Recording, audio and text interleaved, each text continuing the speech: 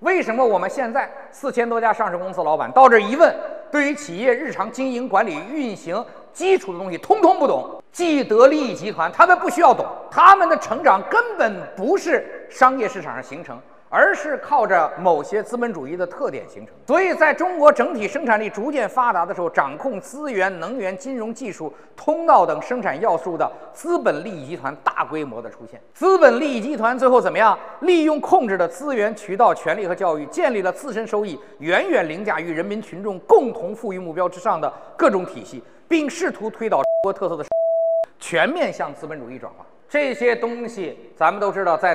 很多文件中都有定论，可是来源是什么，大家都不清楚。这东西才是妨碍真正中国共同富裕、实体跟虚拟完全融合向前发展的最核心跟最主要的矛盾。解除这个矛盾，四十年冰冻三尺非一日之寒，难度是很大很大很大的，遍及到社会各个角落。伴随着资本利益集团掌控社会发展、主导生产能力的越来越强，地方经济大量跟资本利得集团产生依赖性。大量产生依赖性，对呀，依赖到什么程度？人家开玩笑说，这这次蚂蚁不能上市，杭州的 GDP 得掉两个点。大量的地方的经济跟这些东西的依赖性、利益交换，中国社会的贫富差距越来越大，能够建立全社会共同富裕的难度就越来越大。我们今天这一段时间火的一个机构叫美团，原因是什么？因为有人用精准的数据告诉美杀手，在大量的人说，当你注册了京东会员、注册了阿里会员、注册了美团会员之后，你惊异的发现。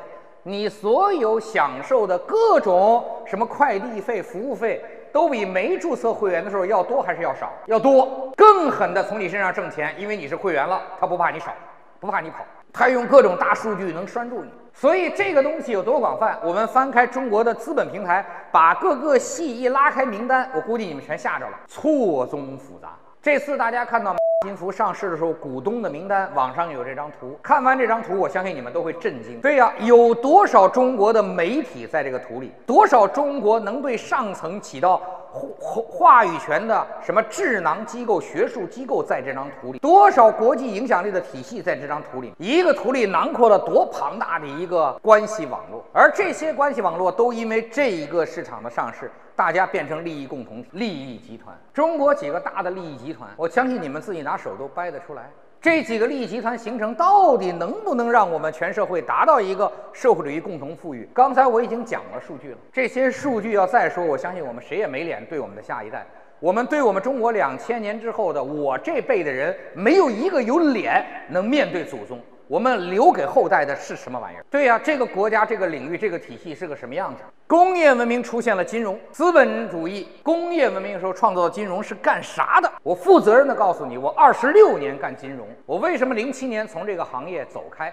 金融是资本主义创建的，并没有因为资本主义创建它，到了我们社会主义就把它本质进行了改良而采用它使用它的长项。资本主义本身创造金融就是为了暴敛财富而产生的。这种挪用资金本来它的货币市场还有帮助实体推动的效应，但到了资本市场，从东印度公公司开始创建，完全就是为了从全社会暴敛财富而出现。而我们呢，直到最近，我特别高兴的一件事，终于可以穿透了。终于中央说我们要建立一个管理所有金融体系、能穿透金融体系的强权的一个机制。早就该减。我们现在一个企业，你们那么多企业去上市，海内海外，你们有没有真正拿一个数据好好分析过？我告诉你，我有。我在当年做上市公司做金融的有。我们惊异的发现，所有上市的核心利益者都不是企业家，全是投资人，全是既得利益集团。你服从于集团利益，愿意被集团操控，他就能把你扔到资本市场上；你不服从他给你画的圈，不按对赌协议做规则，你就没戏。抖音。